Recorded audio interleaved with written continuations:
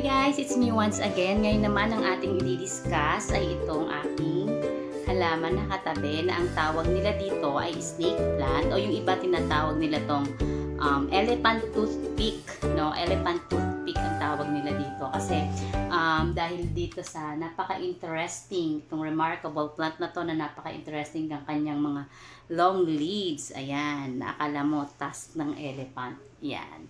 So, ito yung uh, isa sa mga indestructible, kumbaga, indestructible plants kung tawagin nila kasi uh, napaka-remarkable nito na hindi niya kailangan ng malupit na maintenance. Ang kailangan niya is a little bit TLC Aww. and low light and do not overwater this kind of plant. Okay, ano ba ang benefit nitong ating snake plant na to or yung tinatawag na elephant toothpick plant? Ayan. So siya, ang ginagawa niya is uh, actually alam na to ng karamihan sa inyo alam na na itong plant na to ay nagre-release ng oxygen at nagfi-filter or nagpo-purify ng air sa bahay even sa kaya niyang mag-absorb ng carbon monoxide kaya kung uh, ng usok na nasa labas. Okay? So, at itong halaman na to para maging maganda ang aura ng inyong bahay dahil nga nagre-release siya ng oxygen, nag-filter din siya ng air na nasa paligid ninyo. So, nakakatanggal siya ng stress itong halaman na to. At hindi lang yun, napakatibay. Sabi nga dito sa halaman na to, ito, ay indestructible. Okay, bakit siya indestructible? Kasi nga, um, hindi siya mab ito, hindi siya mabilis masira. Uh, kahit naiwan mo lang siya ng ganyan, alam mo yon hindi kagaya ng mga leafy, kagaya nito. Ayan, philodendron. Ayan. Iyang mga itong mga klase ng ganito, compared dito, mas mas ideal alagaan to kung ikaw ay nagsisimula pa lang mag-alaga ng o gusto mong magkaroon ng indoor plant sa bahay. I, I suggest na ito ang umpisa mong, umpisa mong ilagay sa bahay mo kasi uh, kung lalo na alis ka ng alis, hindi mo to kailangan ng i-maintain lagi. So, at ang maganda rito, dahil nga uh, hindi mo siya kailangan laging i-maintain or hindi siya kailangan ng too much sunlight kasi kahit adaptable siya. Eh. Kung ilabas mo siya sa initan, kaya niya mag-survive. Ipasok mo siya sa loob na bahay, kaya niya mag-survive. No? uh, wag mo lang siya i-overwater. Yun talaga isa no-no na mag-overwater tayo ng halaman natin. That's the only time na namamatay sila. So, itong plant na to, kaya maganda siya sa mga first timer is um, hindi mo talaga siya iintindihin. Alam mo yon na napakalaki ng benefit pala niya kahit hindi mo siya pinapansin. Siya yung may pinakamalaking na itutulong sa air ng bahay mo, itong snake plant natin na to. So, um, hindi naman siya ganong, ano naman ang requirement niya, hindi niya kailangan ng, uh, hindi niya kailangan ng masyadong matubig, no? Water mo lang siya ng once a week, mabubuhay na siya. Pagkatapos, ano pa, um, na-appreciate niya lahat ng klase ng ilaw, ma bright light man yan, low light man yan. Ako paka-appreciative ng, ng halaman na to. Kaya, kumbaga sa tao, napakasarap niyang pakasamahan.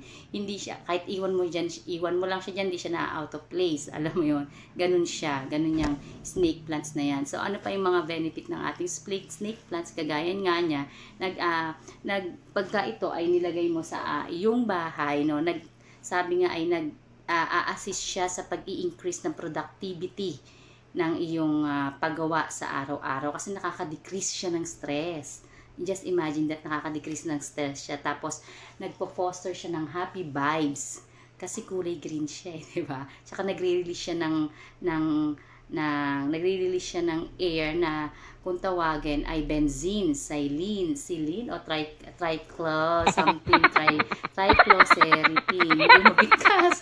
But anyway, yun yung mga yun yung mga isa sa mga nire-release niyang um, oxygen. Kaya siya nakakapag-improve ng well-being ng ng ating health. O nakakapag-improve siya ng uh, enriching the overall well-being and sa health natin okay siya. So hindi naman masyado ang discussion ko regarding dito pero kung ikaw ay starter, ito ay isa sa pinakamagandang alagaan halaman sa aking experience. Ha. Ngayon, meron kasing mga uh, ibang types ng ganito, merong ganito na matataba. Okay, meron parang mga snake, mga ears ng elephant ears kasi matataba siya, no?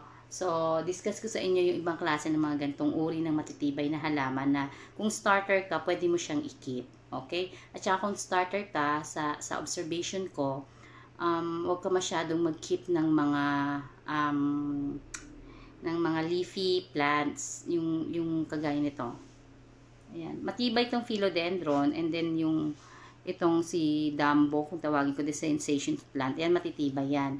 Kaya lang, kay, hindi siya kagaya nitong itong halaman na indestructible na to. Okay, so if I were you, mag-start ka sa pag-aalaga nitong ating snake plant. Okay? Maraming maraming pong salamat. Yan po ulit. Magkita-kita po tayo. Ulit, huwag niyo pong kalimutan mag-subscribe sa ating channel para po sa mga bagong may matututan pa po tayo. Samahan niyo ako sa journey ko kung ano yung mga naging experience sa pag-aalaga ng halaman. Sa susunod, ang isi-share ko naman yung mga um, halaman ko na sinabi sa akin na pwede daw indoor. Pero ang ending, nakakaawa yung halaman kasi nangangamatay siya. So, isi-share ko ano-ano ba yung mga halaman na yun. Hindi puro perfect na ang ipe-present ko sa inyo. Hindi yung puro perfect plant. Okay? Kasi, pag bumibili tayo, minsan kasi yung iba basta makabenta lang, di ba? Pero yung reality behind it at kung nag-aalaga ka na, hindi pala advisable na bilhin. No? So, sa susunod na vlog ko, share ko yun sa inyo. Maraming maraming salamat!